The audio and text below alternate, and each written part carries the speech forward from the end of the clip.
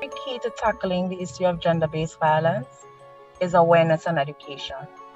I think that we've found ourselves in a holding pattern where culture and acceptability in terms of people are, are, are expecting certain responses the way a girl or a woman should behave or a boy or a man should respond.